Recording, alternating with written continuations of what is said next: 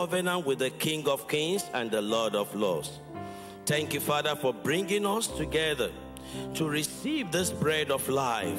And by your divine touch upon us, you have given us this basic privilege in the new covenant. As many that are here that are yet to have this relationship with Christ, this covenant, you know, commitment to Christ. Lord, as we have prayed in unity, let the blood of Jesus that is, Father, better than the blood of bull, the blood of Abel. Let this blood wash them and make them whiter than snow and save them to the uttermost in Jesus' name. And for we believers, Lord, we bring our hearts before you that, Lord, you will sanctify us every hardened heart, every stony heart, every self will, every worldliness, every kind of stubbornness to the will of God, to the word of God, flush them out of us and make us new lump, holy and righteous, that will spend the rest of our lives in holiness and righteousness, serving you without fear in Jesus' name. And all the blessings of the new covenant, open heaven and download them into our lives in Jesus' name. That everywhere we go, we are blessed and will be a channel of blessing. And there shall be showers of blessings in every area of our lives in Jesus' name. Thank you, Father, because you've answered. As we go in this mind, let the blessing of the Lord continue to increase in our lives. As we decree and declare, this is our year of divine increase. Increase on every side. Numerically, you will add to the church such as to be saved. Spiritually, you will increase us. Financially, you will increase us. Maritally, you will increase us. And in every area, there will be increase in line and everywhere.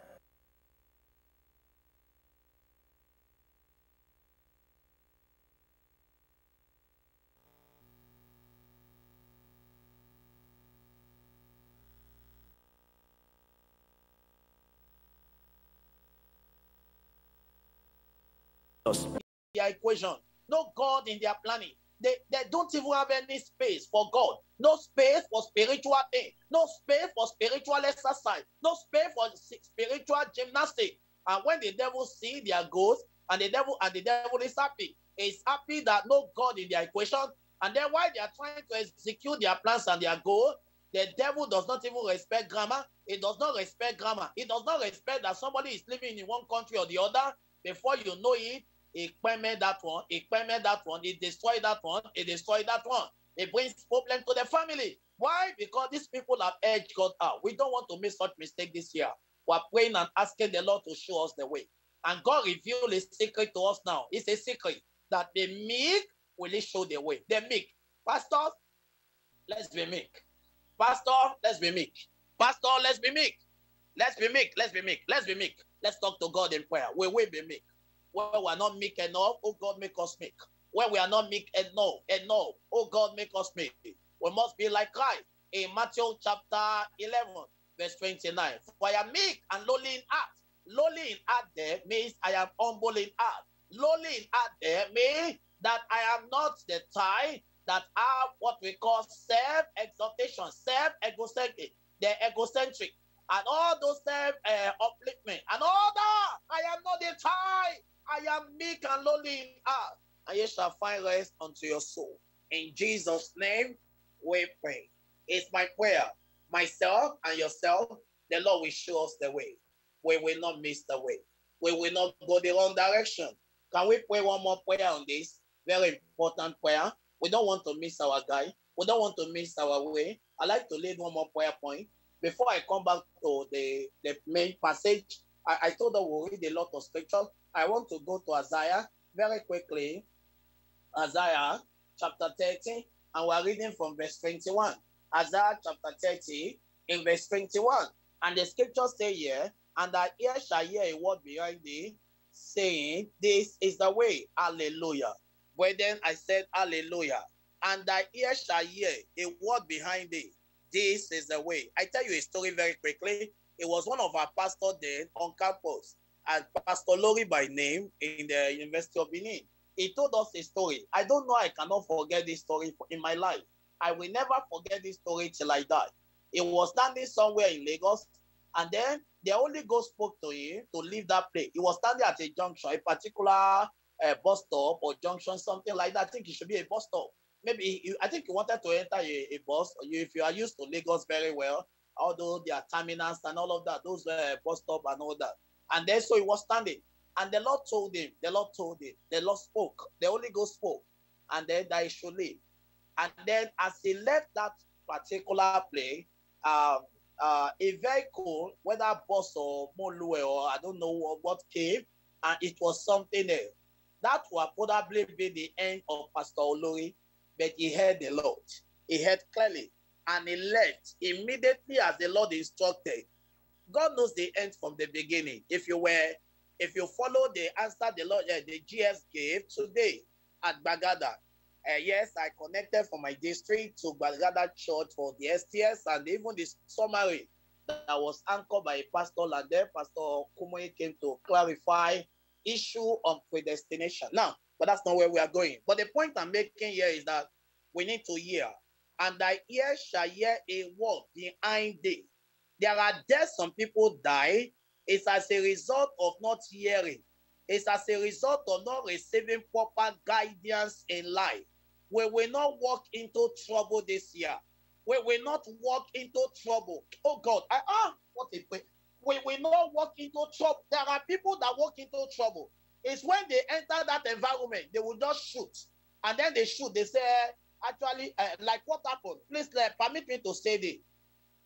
On the 24th or 25th of last year, it's already last year, but it was actually last week here.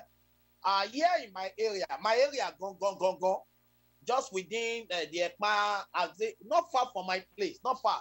It's something I can track, uh, let's say 15 minutes or 20 minutes to the place. And then we were told, or what happened, how a young, I don't know how many of them were shooting. It, I, I, I was told that it's not even far. Yes, we are used to their shooting in uh, those areas and all that. Not exactly where I'm staying anyway. But this particular one, they were just shooting. A, a sister was not telling me at the retreat that they killed my neighbor too. They killed my neighbor. So it's not as if the neighbor did anything. He's a woman. He just shot. As in just uh, straight bullets. They, it's not as if maybe they were coming to kill the woman or whatever. you can imagine Iku Iku Sarah. We will not die Iku Sarah in Jesus' name. Sarah dead. It's like using someone as an experiment. Using someone like uh, like uh becoming a victim of circumstance. That's what we are saying. Maybe if that woman knew, and maybe she would have probably left that place of trouble, and she would not have experienced that and just died like that and left this world. Somebody that would have seen New Year now, she could not see New Year because of what we are talking about. And so, want to pray right now, our ear we hear. We will be intimate with God to hear God clearly. Go this way. Oh, don't go there, my son. There's danger. Oh, my daughter, don't go there. The Lord will speak to our children. Our children will be hearing God from their childhood. Go this way. Don't go there. Don't go. Don't go. Go. Don't go. They will hear it in their dream. They will hear it on the road. They will hear. It. Let's pray for our children. They will not be dull of hearing. As pastors and leaders, we will hear God distinctly. We will not be doing permutation and combination. We will not be applying psychology. You know what some people do is that they apply psychology. Uh, uh, the, maybe the, where they have meeting where there are crowd and there's somebody here you have headache and all that. Of course, somebody may have headache among the crowd. Uh, what is headache? Uh, there's somebody here you have uh, this one. General thing that people may likely have and all that. Not all those kind of permutation and combination. We are talking of the one you hear clearly from God, clearly from God, clearly yeah, you it's unmistaken, unmistaken. Thy ear shall hear a word behind thee. Oh God, my ear will not be blocked. In 2023, I will hear you clearly. I will hear you clearly. My God, my God, my God. This is the prayer to pray. For this new year, this is the kind of prayer to pray. Our ear shall hear a word behind us. This is the way. Those of us that have children who are up to the age of marriage, they will yet they will not settle down for Okweke. There are a lot of Okweke sisters in the church. People who are just sanctimonial, not born again. They are just there. They can dress well. They are touche in their dressing. They are beautiful, but they are godless. They are void of righteousness and holiness. And they are they are wicked in heart. There are brothers that are like Absalom in the church. They can dress well, but they are Absalom. Our daughters will not fall into the hand of those Absalom. They will not fall into the hand of Jonadab. They will not fall into the hand of Nabal, the husband of Abigail. God forbid. In the name of Jesus, our children will hear a word behind them. This is the way. They will not follow friends that will destroy and waste them. They will not follow friends that will destroy their destiny. We, as pastors and leaders, we will hear word. And we will hear word. We will hear word. We will hear word. We will hear word. It's beautiful to be intimate with God, to hear clearly, and to hear clearly. To hear clearly. We'll not be doing permutation and combination. We'll not be doing psychology and philosophy, but we will rather be spiritual. To hear God, this is the way and walking therein. The Lord will do it for us, and His name will be glorified. In Jesus' name we pray. Let me still believe that you hear me. Please, I like uh, a notification uh, to show that since I can't yes. hear anything pointing out. Okay, thank you, Akeomi. I go back to the chapter, the passage uh, we started with in Exodus chapter 33. Uh, we have taken time to look at that verse 13. So I want to leave verse 13 now. Coming to verse 14, and he said, My presence shall go with thee, and I will give thee rest. Amen. Beautiful. Amen. My presence shall go with thee. My presence shall Amen. go with thee. That's a very powerful statement. Amen. That's a very powerful. My presence shall mm. go with thee. God is saying here, My presence Amen. shall go with thee. It's God that it wasn't angel talking to Moses. God said, My presence shall go with thee. I will give thee rest. Now, there is something. Before pray for my presence will go with thee, that last part, I will give thee rest. I want to pray particularly for our pastor. There will be rest for our pastor. The rest here, please, let's get something clear. Mm-hmm. The rest here does not mean that they will just be sleeping and sleeping and sleeping and be sleeping and sleeping without uh, doing something. No, that's not what he meant to. There are three types of rest. Actually, three types of rest. Number one, you find that in uh, Matthew chapter 11, verse 28. Come unto me, all ye that labor and I will give you rest. That's the rest, number one. That's the rest that come uh, uh, to people who are not born again, who are not saved, and then they have been laboring, they, they are laboring in sin, and they, they are laboring in iniquity, they are laboring in, in unrighteousness, and they are not able to enter into, for them to enter into the rest of the Lord, the peace of God, and all that, they need rest. That one is talking of peace in their heart. There's another rest, the final rest. You find that in Hebrew chapter 3, in verse uh in verse 18. Hebrew chapter 3, verse 18. And to whom swear he that they should not enter into his rest, but that they should believe no. The rest here is talking about heaven. The rest here is talking about heaven. In verse 11, so I swear in my rod, they shall not enter into my rest. It's talking about the Beulah land. Uh, in this case, it was referring to the Canaan land, and our own Canaan land here is a land of heaven. So, in between the initial rest that comes to us when we become born again, and the final rest that uh, comes to us as we get to the Beulah land in heaven, in between the initial and the final, there's a, uh, uh, there's an opening, we call that rest. What does that mean? As a pastor, you will not struggle to pay school fee. That's rest. That's rest. I, am sure we're following. And uh, you will not struggle Amen. to pay house rent if you are still a tenant. Amen. You will not struggle Amen. to take care of your wife. The finance is there. It's not a sin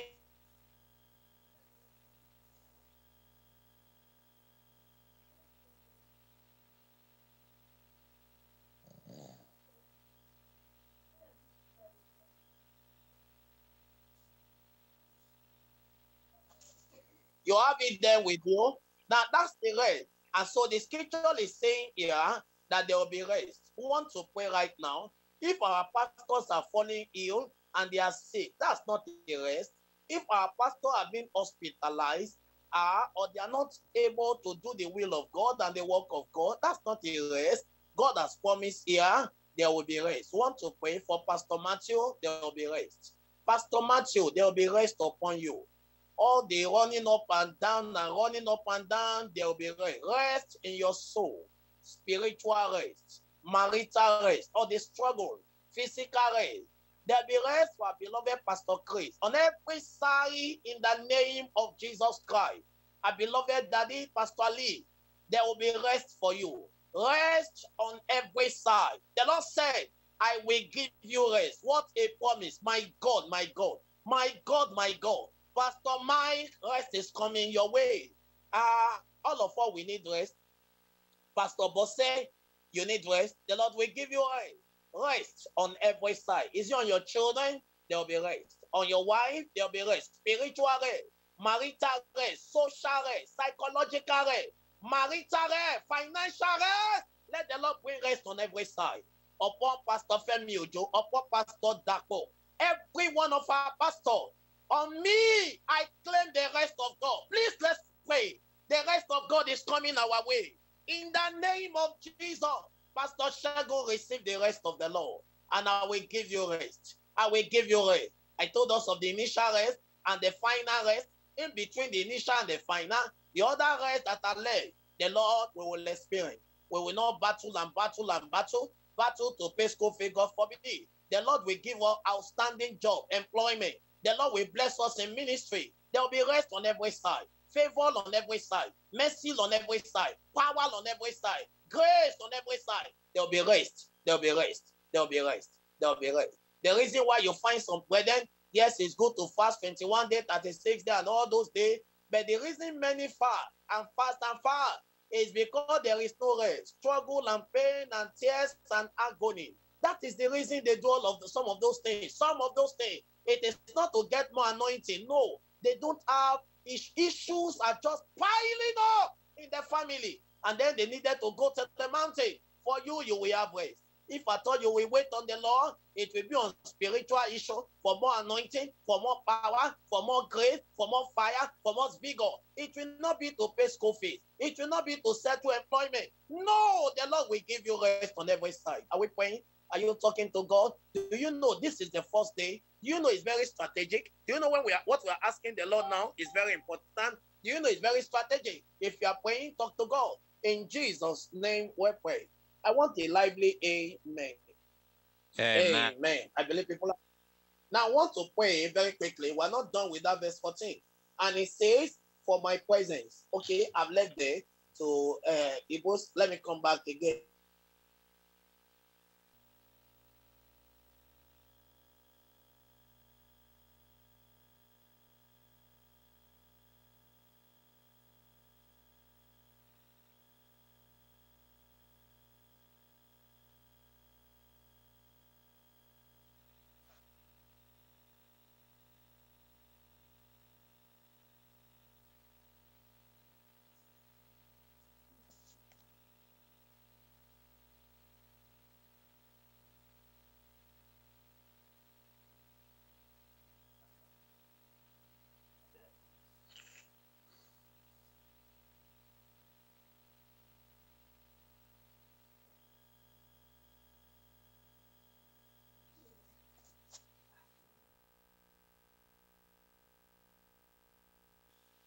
God's presence shall be with us as we pray, as we minister. The presence of the Lord will be so real upon us.